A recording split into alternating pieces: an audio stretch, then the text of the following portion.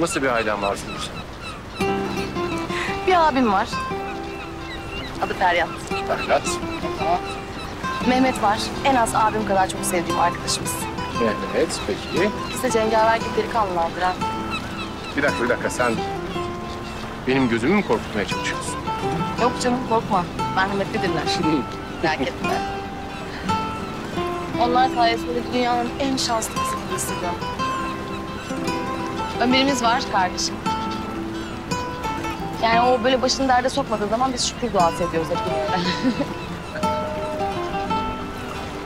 Ne güzel. Kalabalık bir aileniz. var. evet, çok kişiyiz ama aynı zamanda tek kişiyiz. Peki annen, baban,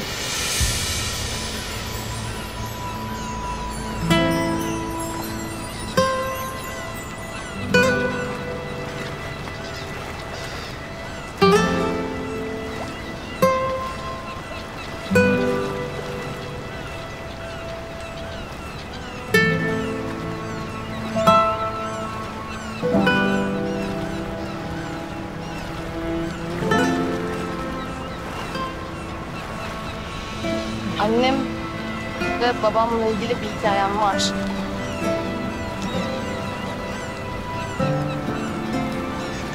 Onu da başka bir gün anlatırım belki.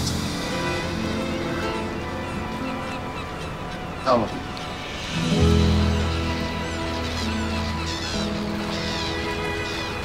Burasıyla bizi Muhsin babamız tanıştırdı. Biz burada iş portacılara gelirdik. Balık tutmayı da çok severdik tabii. En çok balığı da ben tutardım. Abim çok bozulur. Mehmet? Mehmet bozulmazdı. O sevinirdi hatta. Mehmet ben neyi güzel yapsam benden daha çok sevinir. Ne zaman tökezlesem herkesten önce yardıma koşar. Arkadaş gibi arkadaş yani.